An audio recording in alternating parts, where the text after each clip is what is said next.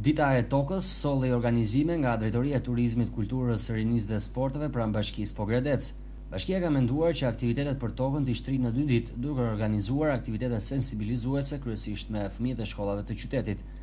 Aktiviteti i parë ka nisur me disa numra kërcimi nga Ansambli i Valleve të Qendrës Kulturore. Pjesë e aktivitetit ishin edhe një grup nga Qendra Kulturore e Fëmijëve, të cilët performuan disa numra artistikë. Më pas u bë edhe ngritja e flamurit me simbolin e tokës përpara sheshit të bashkisë. Pas kësaj pjesëmarrësit u bënë pjesë e mbjelljes së disa pemëve të reja në hapësirat e gjelbërta të qytetit.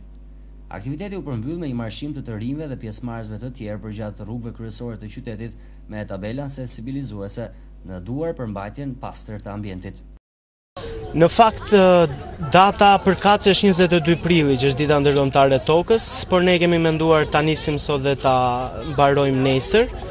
Bashkia Pogradec në bashkëpunim me bashkëpunëtorët e saj, duke nisur me Qendrën Kulturore Lasgush Poradeci, Qendrën Kulturore të Fëmijëve, më pas bashkëpunëtorit e përhershëm siç është Shoqata Unë Gruaja, Kemi menduar që të bëjmë një aktivitet të jetë sensibilizues në radhë parë, së dyti për t'ju thënë dhe për të kuptuar gjithë banorët e Pogradecit dhe vizitorët se një mjedis i pastër dhe një tokë e shëndetshme jep dhe një jetë më të mirë. Ky është mesazhi që ne përcjellim me këtë aktivitet sot.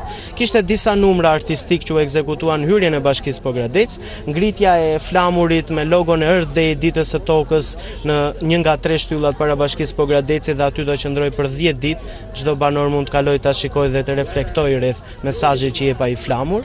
Më pas tek pjesa e sheshit monumenteve, ku ndodhemi edhe tani bashkë, mund të shikoni, është mbjellë pjesa e parcelës e cila nuk ishte e mbjellë me pemë dekorative, vendosëm disa pemë dekorative natyrisht në shenjë sensibilizimi edhe kjo, dhe nesër më pas ka një fushatë pastrimi nga 20 aktivistë të Lions Club. Këto ishin aktivitete në kuadër të ditës së tokës dhe natyrisht Edhe ju që gjithmonë jeni në krye të misionit tuaj për t'i lançuar dhe jepni sensibilizimin në formë mediatike.